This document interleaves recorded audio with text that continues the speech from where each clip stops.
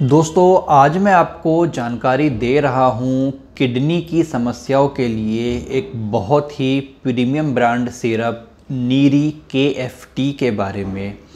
आमतौर पर नीरी सिरप के बारे में सब लोग जानते हैं, लेकिन यह NEERI K F T syrup आपको फ़ायदा करता है किडनी फेल्योर की कंडीशन में क्रोनिक किडनी डिसीज़ में नेफ्राइटिस की कंडीशन में, गुर्दे से जुड़े हुए दूसरे रोगों में। तो वीडियो में हम विस्तार से चर्चा करेंगे किस तरह की यह मेडिसिन है, क्या प्रमुख जड़ी बूटियों का यूज़ इसको बनाने के लिए किया गया है, क्या इसकी सही सेवन मात्रा और सेवन विधि रहती है, कुछ सावधानियों के बारे में।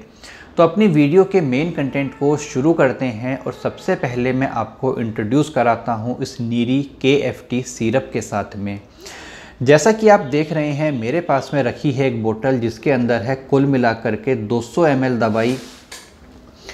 Neeri K F T syrup Aimil company का बनाया गया यह सिरप रहता है। आगे बढ़ते हैं और बात करते हैं हम इस सिरप से मिलने वाले फ़ायदों के बारे में। तो इसके फ़ायदे समझने के लिए ज़रूरी होता है कि हम ध्यान दें इसके कंपोजिशन के ऊपर।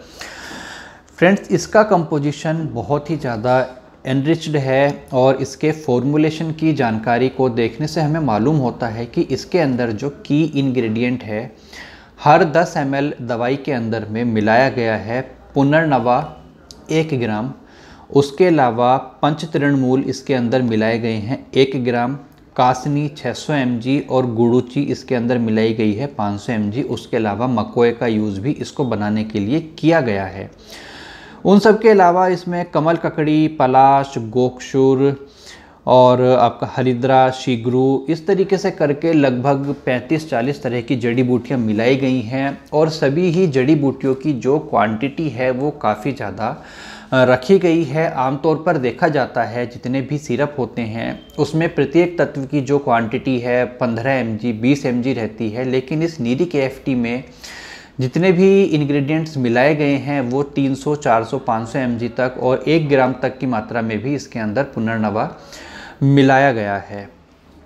बात करें इस सिरप से मिलने वाले मेन फ़ायदों के बारे में तो देखिए किडनी की दो तरह की समस्याएँ हैं। एक तो रेगुलर प्रॉब्लम्स जैसे कि यूटीआई हो जाना हाइड्रोनेफ्रोसिस हो जाना गुर्दों में थोड़ा सा इन्फेक्शन हो जाना पथरी बन जाना तो ऐसी कंडीशंस में तो नीरी सिरप काम करता है, लेकिन जब कंडीशन उससे आगे ख़राब हो जाती हैं, आपको नेफ्राइटिस होने लगती है किडनी अपना काम करना थोड़ा सा कम कर देती है किडनी स्ट्रेस में आने लगती है किडनी के ऊपर स्वेलिंग आने लगती है पेशेंट धीरे धीरे किडनी फेलियर की तरफ़ जाने लगता है। तो ऐसी कंडीशन में नीरी के एफ़ सिरप का सेवन करना एक बहुत अच्छा ऑप्शन रहता है आपके रेगुलर ट्रीटमेंट के साथ में। यदि आप इस Neeri K F T syrup का सेवन करते हैं तो आपकी जो बाकी मेडिसिन का रिज़ल्ट है, वो भी बढ़ जाता है और यह अपने प्रभाव भेद से आयुर्वेद की शक्ति से गुर्दों को एक नया जीवन देने का कार्य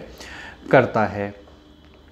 किडनी के अंदर यदि कार्य क्षमता में कमी आ रही है तो इसका रेगुलर सेवन करने से किडनीज धीरे धीरे अपनी नेचुरल वर्किंग पावर गेन करने लगती हैं नेफ्रॉन्स के ऊपर जो स्वेलिंग आ जाती है नेफ्रॉन्स आपके जो है वापस से रिपेयर होने लगते हैं और किडनीज आपकी दोबारा से काफ़ी हद तक जो है ट्रीट हो जाती हैं बेटर हो जाती हैं हेल्दी हो जाती हैं।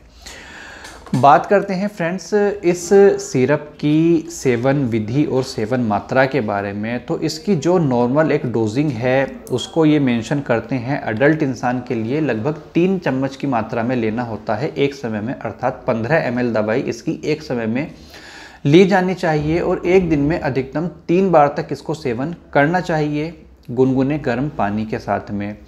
जिन बच्चों की आयु तीन साल से लेकर चौदह साल तक है उनको अपनी आयु के हिसाब से दो एम से लेकर के और दस एम अधिकतम की मात्रा में यह एक समय में दिया जाना चाहिए और उनको दिन भर में दो मात्राएँ इसकी दी जानी चाहिए। आ, उसके बाद में बात करते हैं इस सिरप के सेवन काल में कुछ सावधानियों के बारे में। तो मुख्य सावधानी आपको यह रखनी होती है कि चूँकि किडनी एक बहुत ही सेंसिटिव ऑर्गन रहती हैं और जब आपको किडनी की इतनी प्रमुख डिसीज़ है कि आपका जो फिजिशियन है, वो आपको NEERI K F T seven करने की सलाह दे रहा है तो आपको थोड़ा सा जागरूक होना पड़ता है।